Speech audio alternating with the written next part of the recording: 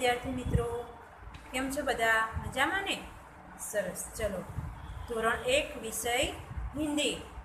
ભાગ, વર્ણમાલા ભાગ અગિયાર. આપણે આજે ન શીખીશું. બરાબર ને?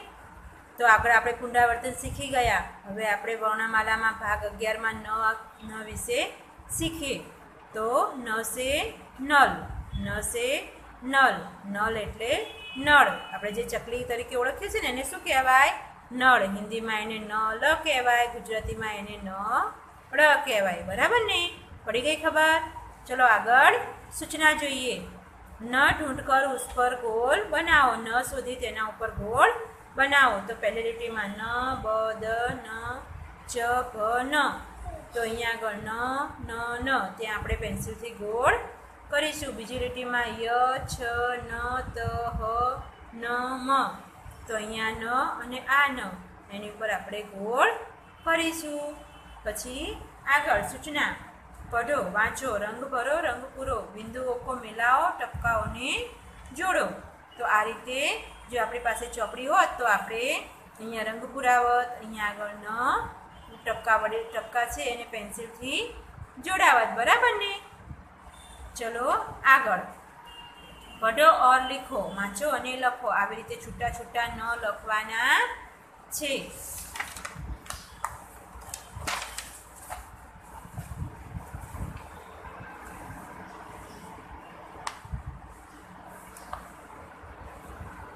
ન કો ન સે શરૂ હોને વાલે ચિત્ર સે જોડો. ન ને નથી શરૂ થતા ચિત્ર સાથે જોડો. તો અહીંયા જુઓ, ગોળ કર્યું છે. એમાં ચિત્રો આપેલા છે, ચિત્રોની નીચે નામ છે, બરાબર ને? તો આપણે આ ચિત્ર જોવાના, એને પહેલો અક્ષર ન હોય તો એને વચ્ચેના ન સાથે જોડીશું. પહેલું ચિત્ર છે ધજાનું. તો ધજામાં પહેલો અક્ષર ધ છે, તો ધને ન સાથે જોડાશે નહીં. બીજું ચિત્ર છે નગાડા. નગાડા એટલે નગારું. બરાબર ને? તો એનો પહેલો અક્ષર છે ન, તો નને ન સાથે જોડીશું. પછીનું ચિત્ર છે દરજી, તો એને પહેલો અક્ષર દ છે. તો દને ન સાથે જોડાશે નહીં. પછીનું ચિત્ર છે નકશા. તો નકશામાં પહેલો અક્ષર ન છે, તો નને ન સાથે જોડીશું. પછીનું ચિત્ર છે તરાજુ. તો એમાં પહેલો અક્ષર ત છે, તો તને ન સાથે જોડાશે નહીં. પછીનું ચિત્ર છે ન થ. તો એમાં પહેલો અક્ષર ન છે, તો ન ને ન સાથે જોડીશું. પછીનું ચિત્ર છે ન ખ તો એનો પહેલો અક્ષર ન છે તો ન ને ન સાથે જોડીશું. તો કયા કયા શબ્દો, કયા કયા ચિત્રો જોડાશે વિદ્યાર્થી મિત્રો? નગાડા, નકશા, નથ અને નખ. પડી ગઈ સમજણ? ચલો આગળ સૂચના વાંચીએ. ન કે નીચે રેખા ખીંચો, નની નીચે લીટી કરો. અહીંયા શબ્દો આપેલા છે, એમાં ન દેખાય, ત્યાં આપણે પેન્સિલથી લીટી કરવાની છે. અહીંયા પહેલો અક્ષર છે ધન તો અહીંયા લીટી કરવાની, મકાન તો અહીંયા આગળ, નદી તો અહીંયા ન છે, ત્યાં લીટી કરીશું. નગર તો પહેલો ન છે, ત્યાં લીટી કરીશું. નકશા તો અહીંયા ન છે, તો લીટી કરીશું. માંડ તો અહીંયા લીટી કરીશું. આગળ સૂચના, ન છે અલગ વર્ણ પર ચોકડી કરો. નથી જુદા અક્ષર ઉપર ચોકડી કરો.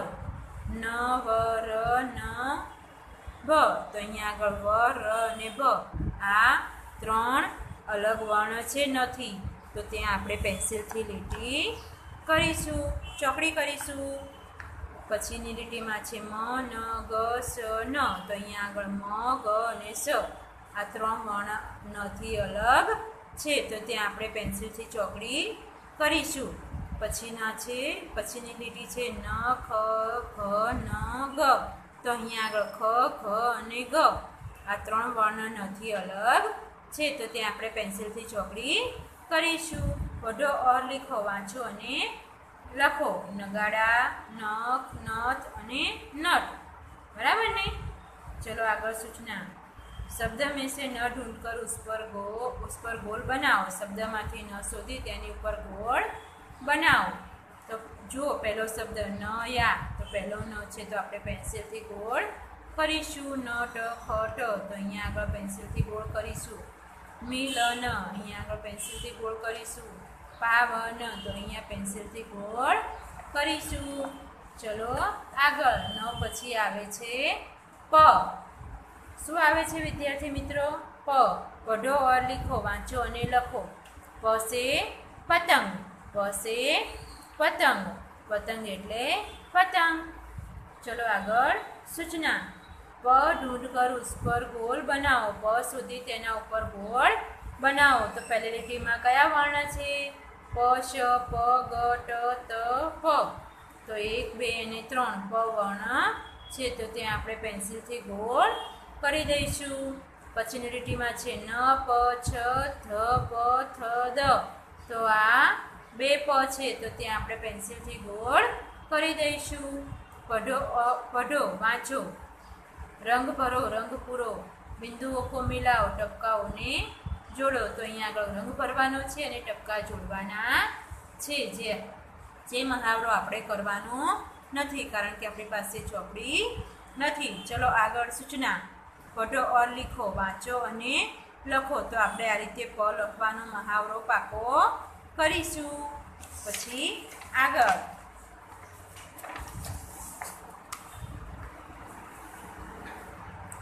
सूचना प को प से शुरू होने वाले चित्र से जोड़ो प ने प થી શરૂ થતા ચિત્ર સાથે જોડો તો પહેલું ચિત્ર છે પલંગ તો એનો પહેલો અક્ષર છે પ તો પ ને પ સાથે જોડીશું બીજું ચિત્ર છે નગાડા તો એનો પહેલો અક્ષર છે ન તો એને પ સાથે જોડાશે નહીં પછીનું ચિત્ર છે પતંગ તો એનો પહેલો અક્ષર પ છે તો એને પ સાથે જોડીશું પછીનું ચિત્ર છે દરજી. તો દરજીને પ સાથે દ દ અક્ષરને પ સાથે જોડાશે નહીં.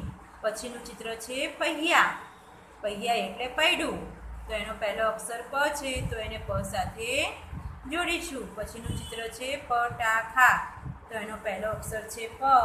તો પ ને પ સાથે જોડીશું. પછીનું ચિત્ર છે ધજા. તો ધને પ સાથે જોડાશે નહીં. તો અહીંયા કયા ચિત્ર જોડાશે? પલંગ પતંગ, પહિયા અને ફટાકા ચાર શબ્દ, ચાર ચિત્ર જોડવામાં આવશે. પછી આગળ સૂચના, પ કે નીચે રેખા ખીંચો પને નીચે લીટી કરો, પતંગ. તો અહીંયા પ છે તો ત્યાં લીટી કરીશું પેન્સિલથી, દીપક તો અહીંયા લીટી કરીશું. પહાડ તો અહીંયા લીટી કરીશું. ગણપતિ તો અહીંયા લીટી કરીશું. કટરી, તો અહીંયા પેન્સિલથી પની નીચે લીટી કરીશું. પગડી, તો અહીંયા લીટી કરીશું. પસે અલગ વર્ણ પર ચોકડી કરો. પથી જુદા અક્ષર ઉપર ચોકડી કરો. તો આપણે પહેલી લીટીમાં જોઈએ. પ, ફ, બ, ક પ. તો અહીંયા આગળ ફ અને ક. આ બંને અલગ વર્ણ છે પથી. તો એની પર આપણે પેન્સિલથી ચોકડી કરીશું. પછીની લીટીમાં સ સ, પ, ગ પ અહીંયા આગળ સ સ અને ગ. આ ત્રણ વર્ણ ઉપર ચોકડી કરીશું, કારણ કે પથી જુદા છે. પછીની લીટીમાં છે પ, મ, ય, પ, સ. તો મ, ય અને સ આ ત્રણ વર્ણ અલગ છે. તો ત્યાં આપણે પેન્સિલથી ચોકડી કરીશું. પઢો ઓર લીખો, વાંચો અને લખો. પૈયા, પગડી, પલંગ અને પટાકા આ ચાર ચિત્રો છે એ આપણે એની નીચે એના નામ લખ્યા છે જે આપણે વાંચવાના છે. બરાબર ને?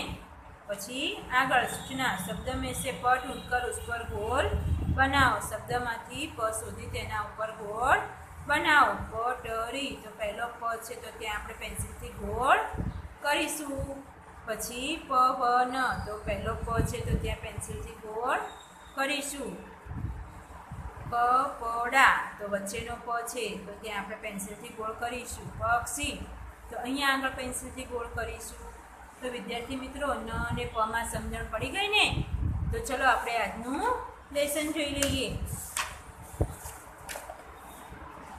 જુઓ, સૂચના લખજો. પછી ન. લખી, પછી લીટી કરજો. નળ, પછી લીટી કરી અને નળ.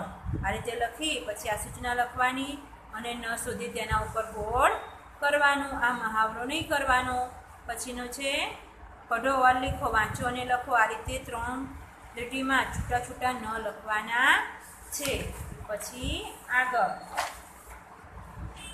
આ ચિત્ર દોરવાના નથી, ખાલી શબ્દો લખીને જે અક્ષર નથી શરૂ થતો હોય, એને વચ્ચે જે ન લખ્યો હોય, એની સાથે જોડી દેવાનું. સૂચના લખી ગોળ કરી, શબ્દો લખી, વચ્ચે ન લખી અને પેન્સિલથી ન શબ્દથી શરૂ થતા ચિત્રને જોડી દેવાના નથી. ન સાથે પછી સૂચના લખવાની, પછી આ રીતે શબ્દો લખી અને એમાં ન વર્ણ, ન અક્ષર દેખાતો હોય તે પેન્સિલથી લીટી કરી દઈશું.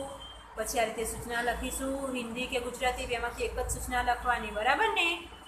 પછી આ રીતે અલગ અલગ છૂટા છૂટા વર્ણ લખી અને જુદા વર્ણ ઉપર પેન્સિલથી ચોકડી કરી દઈશું. આ સૂચના લખી આ ચાર શબ્દો લખવાના. આ સૂચના લખી, બેમાંથી એક સૂચના લખી અને આ રીતે શબ્દો લખી ન દેખાય ત્યાં પેન્સિલથી ગોળ કરીશું.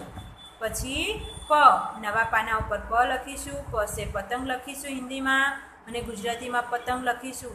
પછી નીચે સૂચના લખી દઈશું બેમાંથી એક, આ રીતે છૂટા છૂટા વર્ણ લખીશું અને પ દેખાતો હોય એ વર્ણ ઉપર પેન્સિલથી ગોળ કરીશું. આ મહાવરો કરવાનો નથી. પઢો ઓર લીખો, વાંચો અને લખો, તો આ રીતે છૂટા છૂટા પ લખવાનો મહાવરો. પ ત્રણ લીટીમાં લખવાના છે. પછી સૂચના લખી, બંને- બંનેમાંથી એક લખી, વચ્ચે ગોળ કરી પ લખીશું અને આજુબાજુમાં આ રીતે છૂટા છૂટા શબ્દો લખીશું અને જે શબ્દ પથી શરૂ થતો હોય એને વચ્ચેના પ સાથે જોડીશું, જે તમને ચિત્રમાં દેખાય છે ને? ચિત્રો દોરવાના નથી, બરાબર ને? પછી આગળ સૂચના પની નીચે લીટી કરો. તો આ રીતે શબ્દો લખીને જ્યાં તમને પ દેખાય છે, ત્યાં પેન્સિલથી લીટી કરવાની છે. પછીની સૂચના પથી જુદા અક્ષર ઉપર ચોકડી કરો. તો અહીંયા આગળ પથી એ જુદા અક્ષર છે. ખ બ. પછી અહીંયા છે શ, સ, ગ. અને અહીંયા છે મ, ય. તો આ પથી અલગ વર્ણ છે બધા. એની પર પેન્સિલથી ચોકડી કરવાની છે. પઢો ઓર લીખો, વાંચો અને લખો. તો આ રીતે આપણે ચાર શબ્દો લખીશું. પછી લગ, પછી નવી સૂચના આપીશું કે શબ્દમાંથી પ સુધી તેના ઉપર ગોળ બનાવો. તો અહીંયા આગળ શબ્દ લખી દઈશું અને પછી જ્યાં જ્યાં પ દેખાય છે ત્યાં આપણે પેન્સિલથી ગોળ કરી દઈશું. તો વિદ્યાર્થી મિત્રો, હોમવર્કમાં ખબર પડી ગઈ ને?